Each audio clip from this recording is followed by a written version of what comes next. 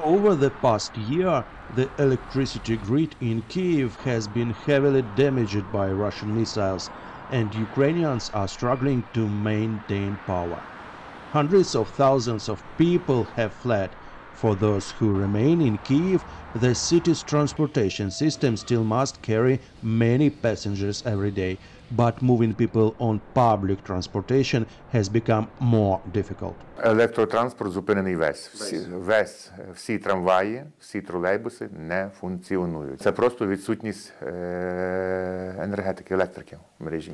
Її нехватка. The only electric transportation system still working is underground.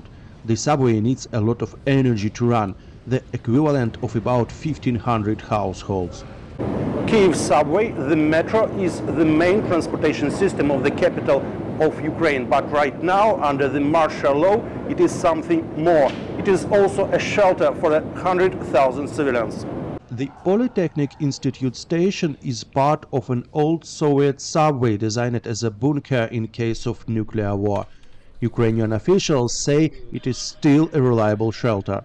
There are no sirens on the ground. Here you will be informed about an air raid alert with an announcement.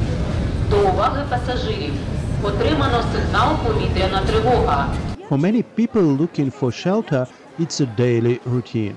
Saving energy remains a priority for the subway. Lighting has been cut by 50%. According to Chief Engineer Viktor Vygisky, the subway tunnels will still serve as shelters even in total blackout conditions. Ну, я не буду розкривати вам всю загальну картину електропостачання метрополітену, тому що я думаю, що зараз це не на часі. Але якщо не буде напруги в місті в центрах живлення, то метрополітен зможе на своїх внутрішніх джерелах працювати і забезпечувати освітлення, вентиляцію. Above ground, it's a daily struggle to provide energy in Kiev.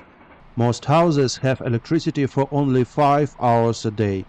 These days, the lighting in the subway is a rare stability point in the city, and often the best place to get a mobile connection.